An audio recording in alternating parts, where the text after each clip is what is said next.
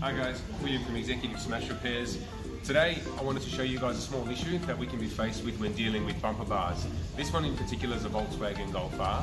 Uh, we came across these issues with the bar bumper bar sensors and some of the glue that's used and even we use when we apply uh, the sensors to the bar. I'll show you this area. If you come a bit closer, what this is designed to do is designed to stick to the bumper bar down here.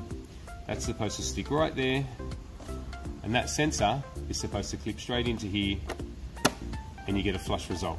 So what that's designed to do is sit perfectly against the bumper bar there and go in.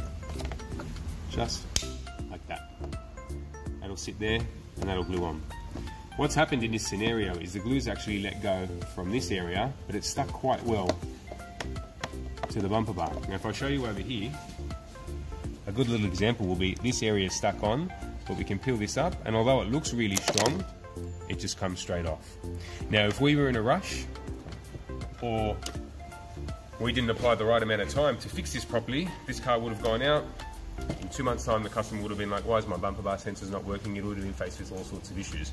So when we when we do anything here, we make sure that we test it, we make sure that our guys and our technicians go over every aspect of it and even recheck it to make sure that we're going to have the right thing. And you can only do that when you apply the right amount of time. So what we're going to do with this, we're going to take all the plastic off and all the glue off this bumper bar. We're going to apply a new glue um, that's supposed to work properly with it, but we'll test that again and find out what the result is.